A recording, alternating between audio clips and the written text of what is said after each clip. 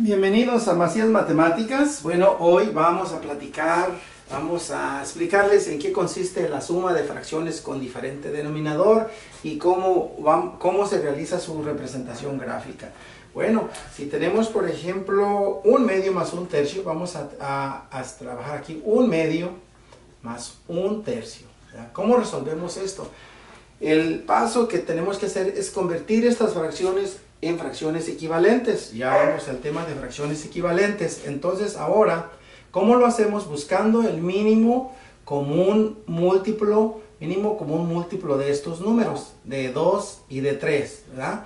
Entonces, eh, el mínimo común múltiplo, mitad de 2 es 1, 3 no tiene, tercera de 3 es 1, ahí está. Entonces, estos son los factores, vamos a buscar los factores y a través de ello 2 por 3 es igual a 6. Este es el mínimo común múltiplo de estas dos fracciones. Entonces vamos a buscar fracciones equivalentes aquí. Entonces una fracción equivalente, fracción equivalente a estas fracciones va a ser sextos. El mínimo común múltiplo es 6. Entonces las convertimos entonces 6. Eh, ¿Qué número multiplicado? Porque tenemos, dijimos que también ya hemos visto eso, un número que multiplicado por la multiplicación o división de fracciones podemos buscar fracciones equivalentes, o las multiplicamos o las dividimos. Entonces, una fracción equivalente a un medio, en sextos, ¿cuántos, ¿cuánto equivale a sextos un medio? Multiplicamos, ¿qué número multiplicado por 2 nos da 6? 3, ¿verdad? 2 por 3 son 6, por ese mismo vamos a multiplicar arriba, entonces aquí sería 3, sería 3, 3, 3 sextos, ¿verdad? 3 sextos es igual a un medio. Ahora este número también, convertido a sextos. ¿Qué número multiplicado por 3 nos da 6? Es 2. Por ese mismo multiplicamos el de arriba, sería 2, ¿verdad? Entonces, esto es igual, equivale a 3 más 2, 3 más 2 igual a 5 medios. 5 sextos, ¿verdad? 5 sextos, ¿verdad? Entonces, vamos a, ¿cómo hacemos la representación gráfica de estas fracciones? Bueno, pues lo, decíamos, vamos a hacer el mismo procedimiento que ah, ya hicimos en las fracciones con el mismo denominador, ¿verdad? Aquí vamos a representarlas, ¿verdad? Estas fracciones las vamos a representar aquí, en esta gráfica, ¿verdad? Se dice se va a dividir en 6, ¿verdad? Vamos a dividir en sextos la figura, vamos a dividir en sextos, ¿verdad? Sextos, sextos. Entonces, en esta primera figura, aquí, en esta, tenemos aquí tres sextos, en esta tres sextos, y en la segunda dos sextos, dos sextos, ¿verdad? Lo vamos a enmarcar uno, dos y tres sextos, ¿verdad? Más dos sextos, son dos sextos. ¿A cuánto equivale en total? Cinco sextos, ¿verdad? Muy fácil de este, hacerlo, ¿no? Vamos a, ver otro ejemplo. Vamos a ver otro ejemplo con otra fracción de, diferente denominador. Vamos a anotar 3 quintos más 5 cuartos. 3 quintos, 3 quintos más 5, 5 eh, cuartos, ¿sí? 5 cuartos. Exactamente así. Entonces, vamos a convertir, a buscar el denominador común para convertirlos a fracciones equivalentes, ¿verdad? Entonces, el denominador común de 5 y de 4 va a ser, este, mitad de 4 es 2, 5 no tiene, mitad de 2 es 1, 5 tampoco, entonces, quinta de 5 es 1, aquí está, entonces, ahí está, entonces el esto equivale a 2 al cuadrado por 5 es igual 2 por 2, 4 por 5, 20. Este es el mínimo común múltiplo. Mínimo común múltiplo de 5 y 4 es igual a 20. ¿verdad? Entonces, ahí lo, anotamos. Entonces, las fracciones equivalentes, aquí a fracciones equivalentes a, a estas, a cuartos y quintos, pues vamos a ver cuánto es. Aquí va a ser 20. 20 y 20, ¿verdad? Entonces, ¿qué número multiplicado por 5 nos da 20? Por ese mismo multiplicamos, ¿verdad? Decimos 4 por 4, ¿verdad? 4 por 5, 20. 4 por 3 son 12. ¿verdad? Este, ¿qué número multiplicado por 4 nos da 20? Es 5, ¿verdad? 5. 4 por 5, 20. Por el mismo vamos a multiplicar 5 por 5, 25, ¿verdad? Ahí está. Este, y ahora sí, ya, ya sumamos. 12 y 25 es igual a 30 y 20, 37, ¿verdad? 37 veinteavos, ¿verdad? Eso lo podemos simplificar. Podemos hacerlo. Recuerda, también ya vimos números mixtos. Esto equivale a 1. Este, 20. Nos quedaría un entero 17 veinteavos, ¿verdad? 17 veinteavos. Ahí está. Ahí está esa fracción. Esta no la vamos a hacer la representación gráfica porque está, está muy grande en muchas partes. Vamos a ver otra, otro ejemplo para hacer la representación gráfica. Solo estoy explicándoles cómo se resuelve una, cómo se sumamos una fracción con diferente denominador. Vamos a, vamos a sumar aquí, este, a buscar otra fracción, o un tercio. Vamos a sumar un tercio. Vamos a poner aquí un tercio. Un tercio más, aquí vamos a sumar un doceavo, un doceavo, vamos a sumar varias, un doceavo más cuatro sextos, más cuatro sextos, más dos cuartos, dos cuartos, ¿verdad?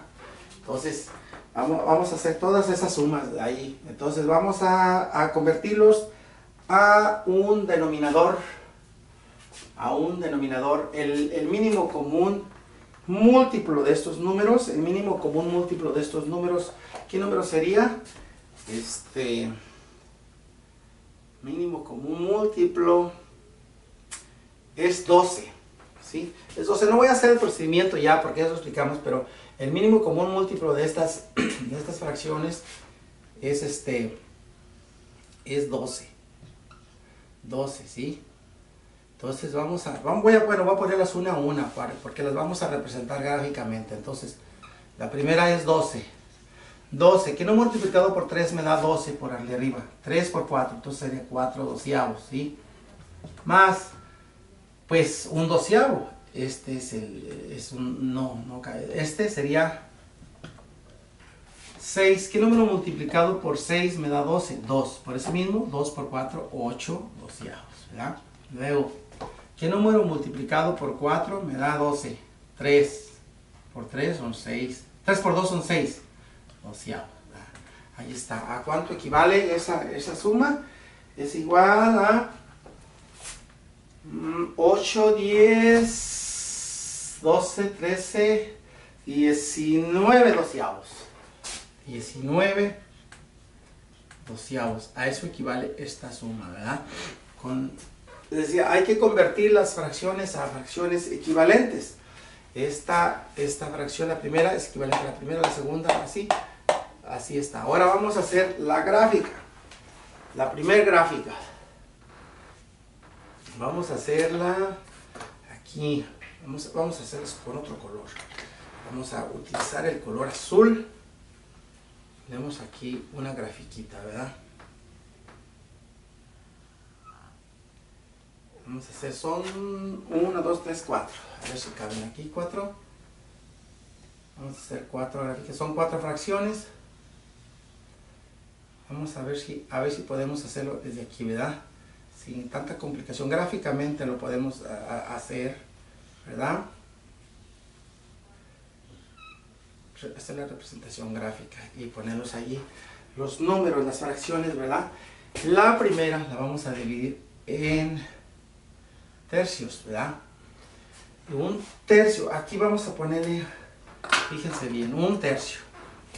Este un tercio en esta es igual ¿cuánto, a cuánto dijimos a 4 doceavos, ¿sí? Entonces este es un tercio aquí. Es un tercio y voy a hacer las divisioncitas porque en, 12, ¿verdad? Aquí lo vamos a dividir en 4. 4 doceavos. Ahí está. Luego, la siguiente lo vamos a dividir en 12 partes, ¿verdad? 12 partes, un doceavo, aquí vamos a dividir en 12. En 12, ¿verdad? Entonces, 4, 4, 4. Y aquí vamos a representar, dice un doceavo. Vamos a representar un doceavo. Este sería un doceavo. Ahí está, un doceavo, ¿verdad? Luego en el siguiente figurita, la siguiente gráfica, vamos a representar cuatro sextos. La vamos a dividir en sextos, ¿verdad?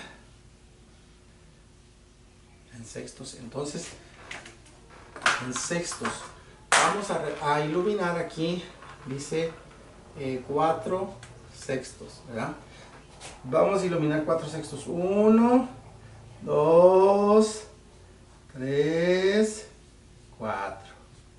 Y recuerden que pues también eso está dividido en doceavos.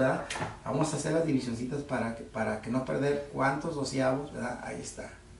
Los sextos, doceavos. Luego, en la última, no vamos a, es dos cuartos. Dos cuartos, ¿verdad? Representa esta, figura, esta gráfica, dos cuartos. Entonces, la vamos a, aquí está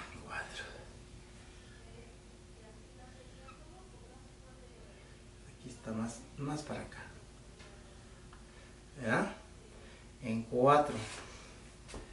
En cuatro partes. Y vamos a iluminar dos cuartos. O sea, uno, dos. Son dos cuartos. Básicamente, dos cuartos de un medio. Entonces, ¿a cuánto equivale dos cuartos?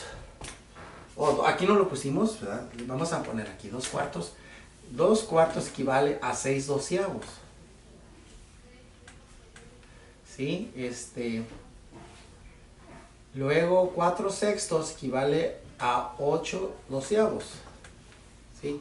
Entonces vamos a poner aquí, a dividirlo, como dijimos aquí, en tres y contamos. Vamos a contar cuántos doceavos tenemos. Tienen que ser 19 doceavos. Aquí están 1, 2, 3, 4, 5, 6, 7, 8, 9, 10, 11, 12, 13, 14, 15, 16, 17, 18, 19 doceavos. ¿Verdad?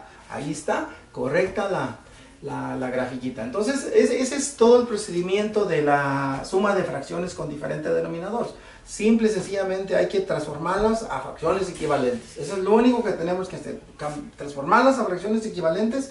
Una vez que tengamos las fracciones equivalentes, ya podemos este, hacer la suma de, de, las, de las fracciones, ¿verdad? Igual su representación gráfica, ¿verdad? En este caso, pues se dividió en doceavos. La figura está dividida este, en, doceavos.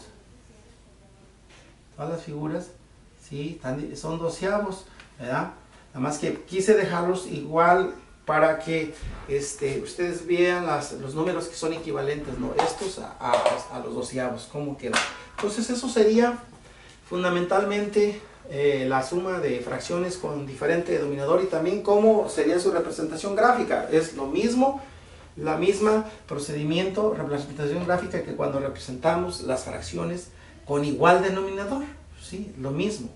No, simplemente lo único que cambia aquí es que en el primer paso tenemos que transformar las fracciones con diferentes denominadores, tenemos que transformar a fracciones equivalentes. Aquí puse cuatro, podemos tener dos o tres o las que sea, pero buscar el, mínimo común múltiplo de, la, de los denominadores, el procedimiento que ustedes ya conocen, y ya se realiza el procedimiento de la suma y con eso este, resolvemos nuestros problemas de suma de fracciones o de quebrados con diferente denominador.